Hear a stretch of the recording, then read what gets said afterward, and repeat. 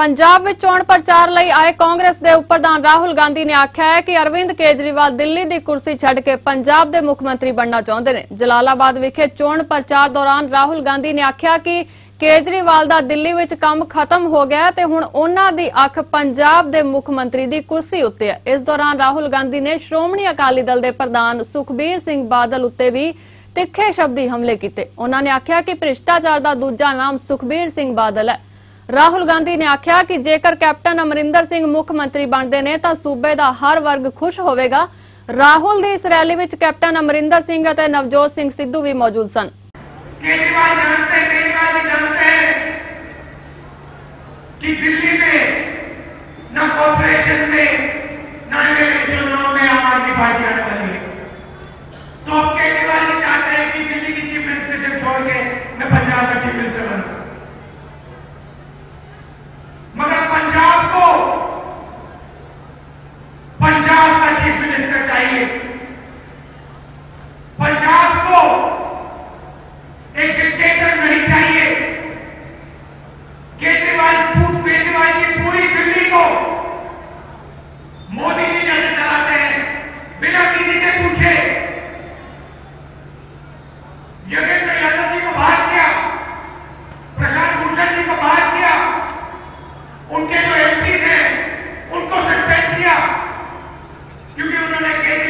Việt Nam phải